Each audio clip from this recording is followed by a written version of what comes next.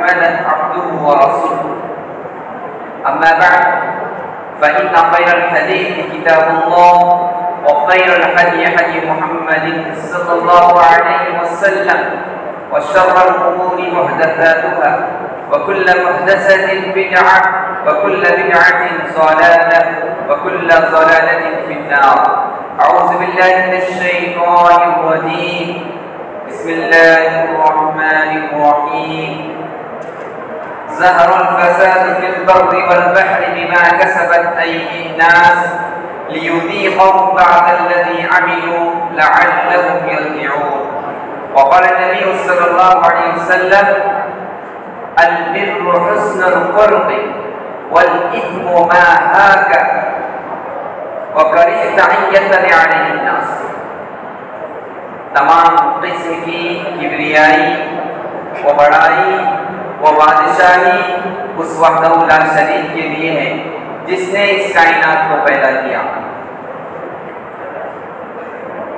तमाम सलाम पर दुरूद व सलाम, खुसूसन हमारे आखिरी नबी मोहम्मद अरबी मुस्तफ़ा सल्लल्लाहु अलैहि वसल्लम पर बेशुमार दरूद सलाम। हाजरीन जुमा अल्लाह तबारा की हमदो सना के बाद मैंने आप हज़रत के सामने सूर्य रूम की एक आयत तिलावत फरमाई, जिसमें अल्लाह तबारा इरशाद फरमाते हैं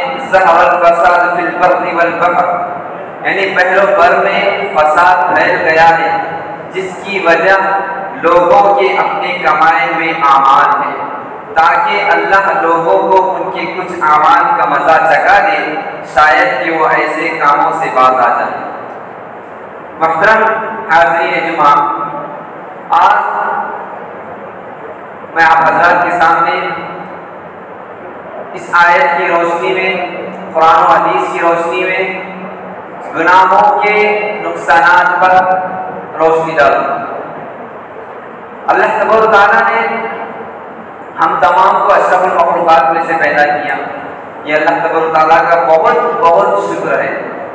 और हम हर लम्हा, हर आन, हर मिनट, हर सेकेंड अल्लाह ताला का शुक्र बजा रहा है कि हमारी जो साँसें चल रही हैं, ये अल्लाह तबारा के नेमत है कि हमको अल्लाह ताला ने इस्लाम जैसे नेमत से सरफराज किया गया हमको इस्लाम जैसी नेमत से सरफराज किया और हम, हमारे जो साँसें चल रही है बहुत अहम है, जो अल्लाह ताला ने हमें इस्लाम जैसी नेमत से सरफराज किया।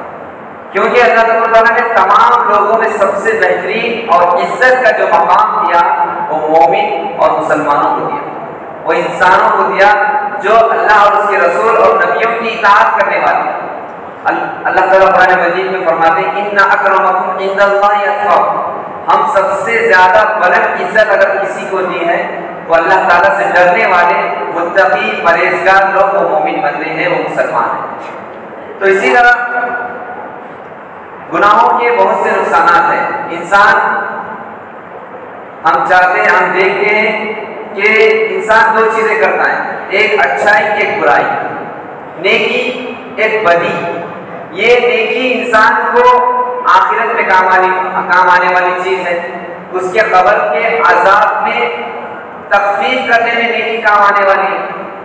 उसके नाम अमाल के तराजू में सबसे भारी अगर कोई चीज़ होगी तो इंसान की नेकी होगी। और वो नेकियाँ हमको तलाश करना है, और वो नेकियाँ हमको अगर मालूम है कि क्या नेकी करने पर अल्लाह ने क्या अजर रखा है, क्या रसूल ने सल्लल्लाहु ने कहा, अगर ये चीज़ें हमको मालूम होगी तो हम खबर की तन्हाइयों में, खबर की अंधेरी कोठरी में जो अजाबात मिलने वाले उन अजाबात से रुक सकते हैं। आखिरत के दिन जब नामे अमाल पेश किए जाएँगे, उस वक्त हम खुशहाल होंगे। दाएँ हाथ में अगर किसी का, यानी सीधे हाथ में अगर किसी का नामे अमाल दिया जाएगा तो खुश होगा। और इसी तरह वान यमीन वान शिमाली बाएँ हाथ का अगर देगा तो अफसोस करेगा। अल्लाह ताला कुरान मजीद में सूर्य कहफ, जैसा कि हम सूर्य जुमा के दिन सूर्य कहफ की तिलावत करते हैं, उसमें आयत है। क्या है? अल्लाह ताला फरमाता है कि जब बंदे के सामने तमाम अनाम अमल रखे जाएँगे उसमें अच्छा और बुरा दो ही चीज़ें नेकी कर दरिया में नेकी करके हमको आखिरत कमाना है। इसीलिए अल्लाह ताला कुरान मजीद में जब फरमाता है कि जब नाम अमल पेश किया जाएगा, कफा बिनफ्सिकल यौम आने का हसीबा तो उस वक्त इंसान हैरान हो जाए। तो कहेगा कि जर्रा बराबर भी इसने जर्रा बराबर में चीज़ नहीं छोड़ी छोटी छोटी और बड़ी चीज़ भी इसने नहीं छोड़ी ये किताब। यकरा किताब, कफा बिनफ्सिकल आने का हसीबा तो उस वक्त कहेगा, अल्लाह ताला, बंदे से कि तू पढ़, फरिश्ते ला के दे। देंगे पढ़, क्या है तू? दुनिया में जो कुछ किया है अच्छा किया है या बुरा किया है, किताब पढ़। तो पढ़ा जाएगा। तो जर्रा बराबर की वो किताब तुम्हारे को, यानी तुम्हारे जो अमल है, उसको लिखेगी, उसको छोड़ेगी छोड़ेगी। तो इसमें हम देखते हैं, दुनिया में रहते हुए एक इंसान नेकी करता है बदी करता है, बुराई करता है तो इंसान को बुराई से बचना है। क्योंकि उम्मत मुस्लिमा का जो खादसा है, जो मकसद है, वो ये है कि तमाम लोग तामरों मारूफ मारूफ का हुक्म दें और बुराई से रोकें। ये तमाम चीज़ हम जानते हैं, लेकिन सबसे ज़्यादा बुराई में मुलविस होते हैं, गुनाहों में मुलविस होते हैं मालूम होने के बावजूद भी उसके नुकसान भयानक है। अगर हम उसके नुकसान को सुनेंगे तो हमारे कान बिगड़ जाएँगे। कम से कम हम गुनाह से तो परहेज करें। अल्लाह के रसूल कहते हैं कि जब तुम बात कहो तो सच कहो, वरना खामोश रहो। तो इस तरह देखिए कि सबसे पहले गुनाह किसे कहते हैं? गुनाह वो चीज़ जो रसूल फरमाया नेकी, उसने अखलाक का नाम है। वो इसम, गुनाह किस चीज़ का नाम है? जब तुम कोई गुनाह कर रहे हो तो तुम्हारे दिल में खड़क महसूस होती है कि मैंने बुरा किया है। मेरा दिल काम उठता है? तो वो गुनाह है जो करने पर तुम्हारे दिल में एक आवाज़ आती है तो उसको गुनाह कहते हैं। गुनाह सगीरा होते हैं, गुनाह कबीरा। सबीरा छोटे गुना कबीरा बड़े गुना तो अल्लाह ताला तुम्हारे सबीरा गुनाहों को तो माफ़ कर देता है, लेकिन कबीरा गुनाह उस वक्त तक माफ़ नहीं होते, जब तक तुम उसकी तौबा ना करें। तो इन गुनाहों की तफसील, गुनाह कितने हैं, इसकी तेदाद तो ला तेदाद है, लेकिन गुनाह चंद ऐसे हैं, जो हमारे सामने मौजूद है, जो जो हम गुनाह कर रहे हैं, लेकिन हम उसको गुनाह समझ कर नहीं कर रहे। गुनाह को गुनाह समझ कर नहीं कर रहे, बल्कि नेकी समझ कर कर रहे हैं। तो ये चीज़ें हमको मालूम होना चाहिए। मिसाल के तौर पर नबी करीम ने फरमाया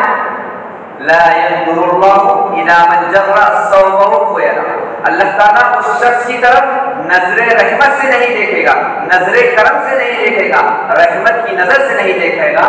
जो शख्स, जो मोमिन शख्स, जो मुसलमान शख्स अपने पैजामे को टखने से नीचे रखता है तो उसके बाद अल्लाह अल्लाह के रसूल फरमाते एक तो अल्लाह ताला उस पर नहीं देखेगा, ये गुनाह। ये इंसान को अल्लाह तला ने मर्दों को कहा कि तुम टखनों से ऊपर रखो। और औरतों को इजाज़त दी कि वो टखनों से नीचे रखे। लेकिन हमारी उल्टी मिसाल है, हम टखनों से नीचे रखकर घसीटते हुए चलते हैं।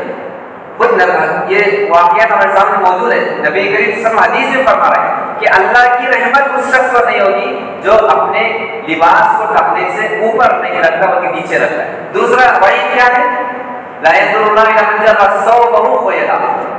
जितना हिस्सा वो नीचे रखा था, उतना हिस्सा अल्लाह ताला जहन्नम में जला देगा ठीक, सिर्फ़ ये छोटा सा अमल है, लेकिन हम इसको क्या समझते हैं? बहुत हलाल समझते हैं, बहुत मामूली ना समझते हैं। लेकिन अल्लाह ताला के पास ये बहुत सख्त है, नबी करीम की वही सुनाई। तो इन गुनाहों के नुकसान क्या है? तो पहला ये, अगर तुम अल्लाह की नाफरमानी करोगे तो ये सजा पाओगे। दूसरा अल्लाह ताला गुनाह बंदों को तो भेजा है, जैसे कि हज़रत आदम सलाम भी दुनिया में आए तो जन्नत से आए। लेकिन जन्नत में उन्होंने क्या किया था? जन्नत में शैतान शैतान ने उनको हराया उकसाया कि फल मत खाओ। मतलब शैतान ने तो लगाया कि अल्लाह ताला ने कहा कि वो फल मत खाओ, लेकिन शैतान ने कहा कि खाओ। तो जब उन्होंने खाया तो वहाँ से जन्नत, जैसे वो फल खाए जन्नत जैसी अजीम नेमत से महरूम हो गए और दुनिया में अल्लाह ताला ने उनको भेजा। और आदम सलाम की औलाद है जो कयामत तक बर्पा की गई है। खुद अल्लाह ताला कुरान में कहा, सूरह निसा में, या अय्युहन्नास तक़ू रब्बकुम अल्लज़ी खलक़कुम मिन नफ्सिन वाहिदा व खलक़ मिनहा ज़ौजहा व बस्स मिनहुमा रिजालन कसीरन व निसा। कयामत तक मर्द औरतें पैदा होते रहेंगे और कयामत तक चलते रहेगा इस सिलसिले ये कहाँ से औलाद आदम अलैहिस्सलाम तो वहाँ भी उन्होंने गलती की थी, लेकिन उसके बाद उन्होंने दुआ भी की। ये हमको याद है, हम गलती करते हैं, लेकिन वो दुआ जो की है वो याद है। इस्तिगफार किए, रब्बना ज़लमना अनफुसना व इन लम तगफिर लना व तरहमना लनकुनन्ना मिनल खासिरीन। अल्लाह, हम दोनों को तो माफ़ फरमा। ज़लमना, हमने अपने नफ्सों पर जुल्म किया, हमने अपने नफ्स की बात सुनी। अनफुसना व इन लम तगफिर लना अगर तू नहीं माफ़ कर सकता है तो कोई भी माफ़ करने वाला नहीं। अल्लाह ताला ही माफ़ करने वाला है गुनाहों को व इन लम तगफिर लना व तरहमना और तू ही हम पर रहम करने वाला है। हमको खसारा उठाने वालों में से, नुकसान उठाने वालों में से, जहन्नम में जाने वालों में से ना पर उनमें शामिल ना पर तो ये दुआ आदम सलाम ने की, जबकि उनसे खता हो गई गलती हो गई। गलती इंसान को होने के बाद इस्तफार करना ये अम्बिया की सुनत रही। उसके बाद गुनाह के बाद अल्लाह ताला तुमको चांस दे रहा है, हमारी जो साँसें चल रही है, आज किसी का इंतकाल हो जाएगा तो हमको उसकी मौत की खबर सुनकर हमको जायजा लेना चाहिए कि मैं कितने अच्छे अमल किया। जो मैं मौत के अगर करीब हो जाऊँ तो मैं क्या अल्लाह ताला के पास कामयाब होगा या नहीं? तो ये जायजा लेना चाहिए। तो सबसे बड़ी चीज़ गुनाहों के नुकसान सबसे बड़ी पहला नुकसान ये है कि अल्लाह तबारा की इतात और फर्माबरदारी में अगर कोई कोशा नहीं रहता है तो उसका दिल बेनूर हो जाता है। उसकी रोजी में कुशादगी नहीं आती, बरकत नहीं आती। उसके बदन में ताकत कुत ईमानी हरारत पैदा नहीं होती। और इसी तरह लोगों के दिलों में उस शख्स की मोहब्बत, उस शख्स मोहब्बत नहीं होती, जो गुनाह करता है। तो पहली वजह यह है कि जो शख्स गुनाह करता है, अल्लाह ताला तो माफ़ करने वाला है। बंदा अगर गुनाह करता है, फिर वो तौबा करता है तो अल्लाह ताला माफ़ करने वाला है कि हमको मालूम है कि अल्लाह गफूर रहीम है। अल्लाह गुनाहों को माफ़ करने वाला है। लेकिन ये भी हमको मालूम होना चाहिए कि अल्लाह ताला गुनाहों कब माफ़ करेगा? जब तुम तौबा करोगे, जब तुम इस्तेफार करोगे तो उस वक्त तुम्हारे गुनाहों को माफ़ करने वाला है। तो अल्लाह ताला, उसके बाद दूसरी चीज़ हम गुनाह करते हैं, लेकिन अल्लाह गुनाह को माफ़ करने वाला है। लेकिन ये भी मालूम करना चाहिए कि गुनाह को अल्लाह तला कोई बंदा करता है तो सख्त भी पकड़ने वाला नहीं। रहीम भी है, अल्लाह ताला शदीदुल इकाब है।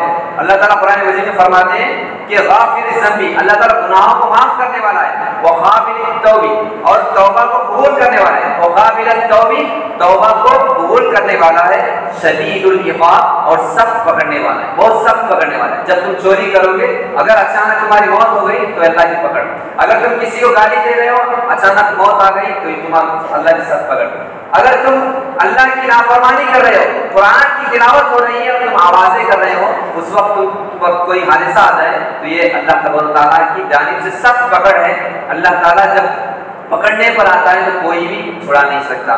तो पहली चीज़ अल्लाह की नाफरमानी करने पर इंसान का दिल सन क्या जंग आलूद हो जाता है? जिस तरह लोहा, लोहे पर अगर पानी लग जाता है तो जंग आलूद होता है। तो इसी तरह इंसान अगर गुनाह करता है तो उसके दिल पर एक सियाह धब्बा बैठ जाता है। काला दाग बैठ जाता है। जैसा जैसा गुनाह करते रहता है, वो काला दाग मुकम्मल तौर में एक जो हमारा दिल है, वो क्या हो जाता है? साफ़ नहीं होता है, बल्कि सियाह रंग का हो जाता है। जब बंदा गुनाह से तौबा करता है तो वो धब्बा मिटने लगता है। हम उस गुनाह को मिटाने की कोशिश करें। हम गुनाह करने की कोशिश कर रहे हैं। हम गुनाह को मिटाएँ कि हमारा दिल गुनाहों में मुलविस की वजह से जंग आलूद हो रहा है तो उससे मिटाएँ। क्योंकि गुनाहों की मिसाल हम गुनाह को मामूली समझते हैं। नेकियाँ, इंसान अल्लाह ताला के पास बहुत बाकमाल होती है। लेकिन हम नेकियों को, हम नेकियों में आगे नहीं बढ़ते, बल्कि गुनाह करते रहते हैं और गुनाह करने के बाद उसको मामूली समझते हैं। जबकि गुनाह की मिसाल हदीस में नबी करीम हज़रत मसऊद रज़ियल्लाहु अन्हु फरमाते हैं कि गुनाह की मिसाल उन मुसाफिरों की तरह है कि जब बंदा, यानी जब मुसाफिर सफ़र करने करने वाले होते हैं, एक बस पे सवार है, और तमाम लोग इसी जंगल के पास ठहरे हैं अब सबको भूख लग रही है किसी के पास खाने के लिए कुछ नहीं है, और जब भूख लग रही है तो खाना पकाने के लिए चाहिए ना तो तमाम लोग देखने लगे हर शख्स ने हर एक को जो भी लाठी मिली, लकड़ी मिली, जलाने के लिए, चूल्हा जलाना ज़रूरी है पकाने के लिए। तो लकड़ी, हर एक शख्स एक एक लकड़ी लेकर आया और तमाम लोगों की लकड़ियाँ जमा हो गई और इकट्ठा हो गए और यहाँ पे पकवान शुरू होने वाला है।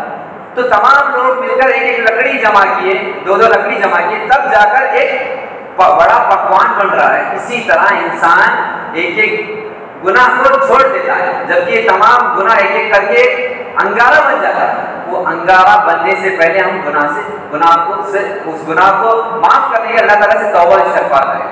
इसी तरह, जिस तरह के एक बड़ा अंगार जब बन जाता है तो इंसान पकाने के लिए बड़ा पकवान बनाता है तो इसी तरह हम नेकियों को, यानी गुनाह करने के बाद उन गुनाह को जल्द अज जल्द मिटाए। एक हदीस में ये भी आता है कि जब बंदा कोई गुनाह करता है तो छह घंटे तक उसको मोहलत रहती है।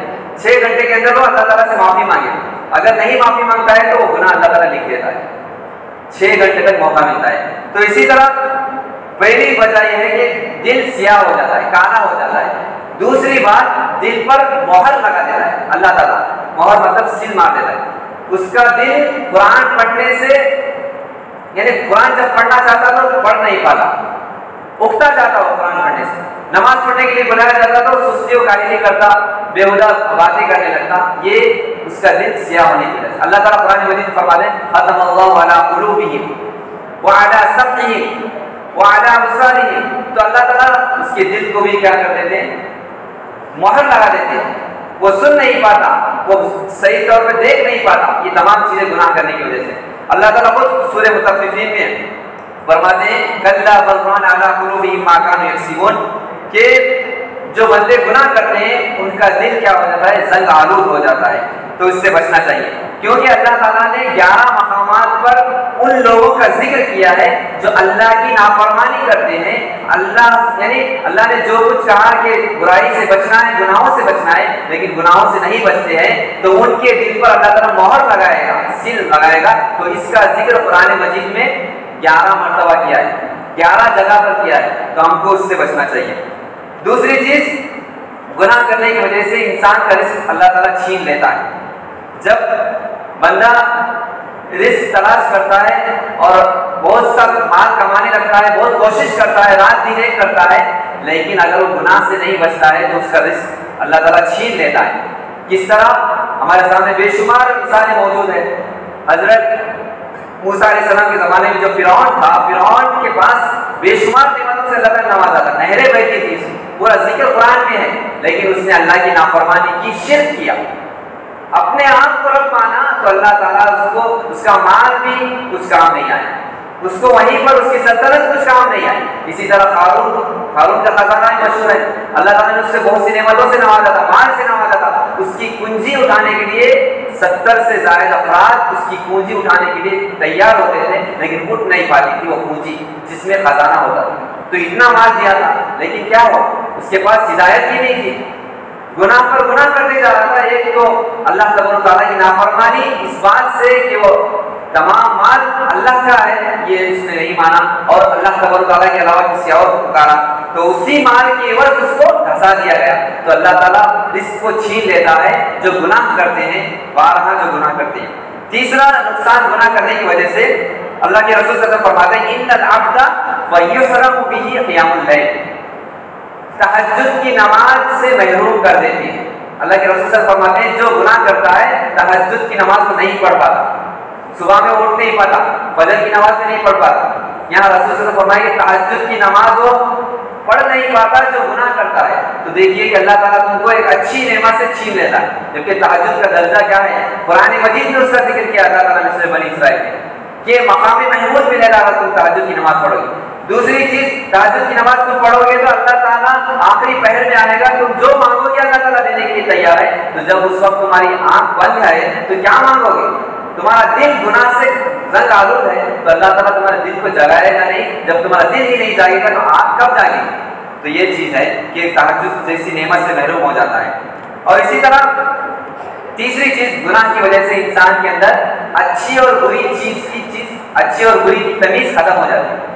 अच्छी चीज़ और बुरी चीज़ क्या है उसके दिल में? मालूम नहीं है क्या अच्छी चीज़ है, क्या बुरी चीज़ है। हमको मालूम है कि चोरी करना हराम है, लेकिन चोरी कर रहे हैं, उसको हलाल समझ कर कर रहे हैं। ये अल्लाह ताला ने कह दिया, अल्लाह के रसूल सल्लल्लाहु ने भी कहा कि इन्नल हलाल और हराम वही है। यानी हलाल और हराम वाजे है।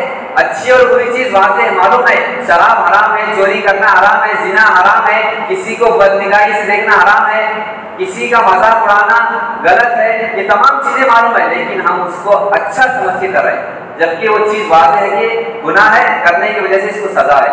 तो अच्छी और बुरी चीज़ की हया खत्म हो जाती है। अल्लाह के रसूल सर फरमाते हैं इन नमी तस्तई फसना माशिता जिस शख्स के अंदर शर्म हया नहीं है, जर्रा पर भी हया नहीं है, वो यानी अपना लिबास इस्लामी लिबास भी नहीं बना रहा है। और यूरोपियन का यूरोप की गुलामी पर रजामंद हुआ तो उसको तो गिला तुझसे यूरोप से नहीं। यूरोप का जो कल्चर है, अंग्रेज़ी, वो कल्चर अपना रहे, वो लिबास अपना रहे। लिबास इतना तंग पहनते कि नमाज़, यानी फरिश्ते भी उनसे देखकर शर्माते तो ये तमाम चीज़ें हैं, हम उसको लिबास अल्लाह ताला ने कहा कि ऐसा लिबास अपनाओ जिससे तुम्हारे अंदर डर पैदा होता है नबी करीम के ज़माने में एक औरत थी, जो बहुत अल्लाह ताला ने उसको बीमारी से, यानी उसको बीमार बीमार हो चुकी थी बीमार होने की वजह से उस औरत का लिबास क्या हो रहा था? नीचे उतर रहा था। तो नबी करीम वसल्लम से उसने दुआ की, गुजारिश की कि अल्लाह के रसूल वसल्लम, मुझको दुआ कीजिए कि इस बात की दुआ कीजिए कि मेरा लिबास कम से कम नीचे ना उतरे। हम ऐसा लिबास पहनते हैं, वो पहनने के बराबर ही नहीं। अल्लाह और उसके रसूल की फरिश्तों की लानत होती है उस शख्स पर, जो, यानी अपने सदर को ढांकता नहीं। तो देखिए कि जब नबी करीम कहते हैं, अगर तुम उस बीमारी पर सबर करोगी तो तुम, तुम्हारे लिए जन्नत है। अगर तुम उस बीमारी पे सबर करोगी तो जन्नत है। अगर मैं दुआ करूँगा तो तुम ठीक भी हो जाओ। तो ये रसूल कहते हैं। तो उस पर सबर भी करनी है। और इस पर दुआ भी करते हैं नबी करीम वसल्लम कि देखिए, ये सहाबिया जो बीमार होने के बाद, अपने अगर लिबास अगर लिबास जिसम से उतरता तो उनको शर्म हया हो। तो इसका हमको तकाजा है कि हम वो शख्स जो गुनाह करता है, शर्म आया उसके, रौनक शर्म आया से महरूम हो जाता है, वो अच्छी और बुरी चीज़ की तमीज नहीं रखता।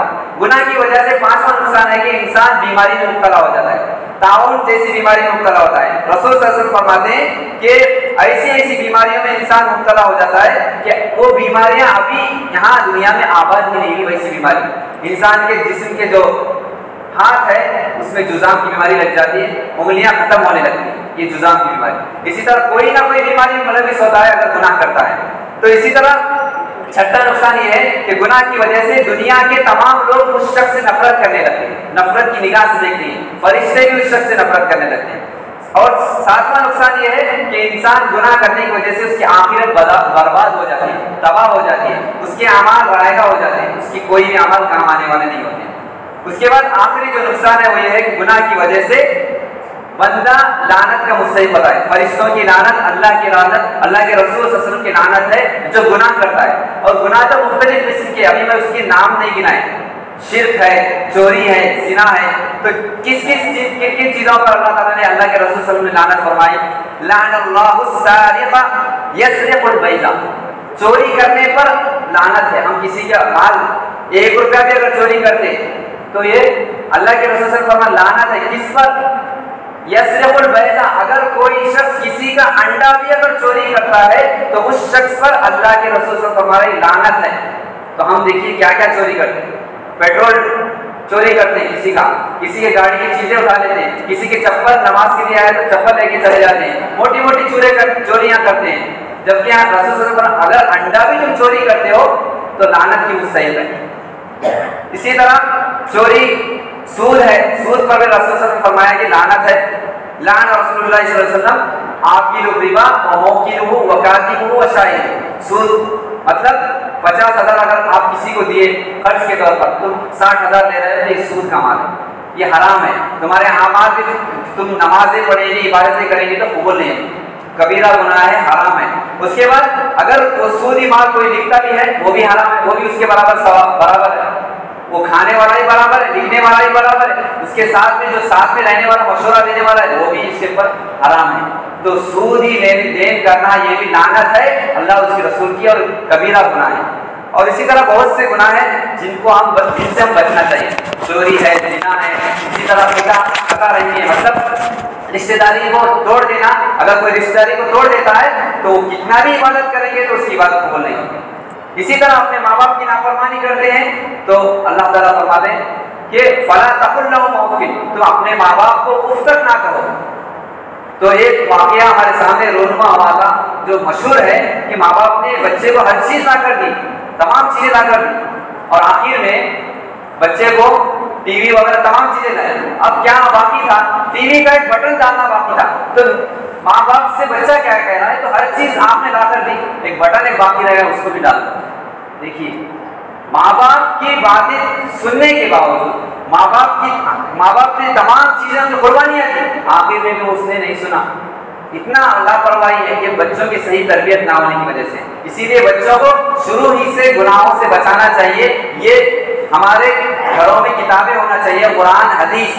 ये वो ये वो, क्या बोलते गुलिस्ता है जो तुमको जहन्नम से बचाने के लिए हथियार है। हम क्या रखते हैं? हमको बचाने के लिए तलवार रखते हैं। तो तुमको, तुम्हारे घर वालों को, तुम्हारे रिश्तेदारों को अगर जहन्नम से कोई चीज़ बचा सकती है, वो कुरान है, हदीस है, जो हमारे घरों की जीनत बनना है और हमारे दिलों में पेवस हो जाना है। तो अल्लाह ताला से हम दुआ करते हैं कि अल्लाह तबार ताला हमारे गुनाहों को माफ़ फरमाए। अल्लाह तबार ताला खुद फरमाते हैं अल्लाह यगफिर जुनूब जमिया अल्लाह ताला ज़मीन और आसमान के बराबर के गुनाहों को माफ़ करने वाला है। अल्लाह तबार ताला हम तमाम के सगीरा कबीरा गुनाहों को माफ़ फरमाए। अल्लाह तबार ताला जो बीमार है उन्हें शिफाए कामिल आजिल अता फरमाए। आमीन। वस्तगफिरुल्लाह ली व लकुम व लिसाइरिल मुस्लिमीन। इन्नहु तआला जवाद करीम मलिकुल बर्र रहीम व रब्बुल